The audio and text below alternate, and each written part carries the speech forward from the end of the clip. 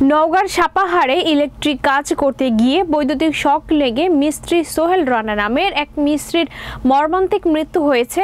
সাফাহার উপজেলা প্রতিনিধি আবু বাক্কারের পাঠানো তথ্যচিত্রে দেখুন বিস্তারিত।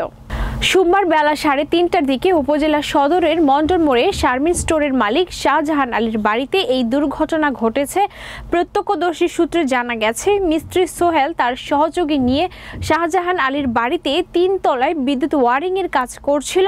এমন সময় অসাবধানতাবশত তিন তলায় জানালায় এসএস পাইপ লাগানোর সময় পা স্লিপ করে পড়ে যেয়ে বৈদ্যুতিক তারে স্পর্শ করলে শক লেগে মিস্ত্রি সোহেল ছাদের উপর পড়ে গেলে তার সহযোগীরা দেখতে পায় এবং সেখান থেকে তাকে উদ্ধার করে উপজেলা স্বাস্থ্য কমপ্লেক্সে নিয়ে আসলে কর্তব্যরত চিকিৎসক তাকে দেখে মৃত ঘোষণা করেন।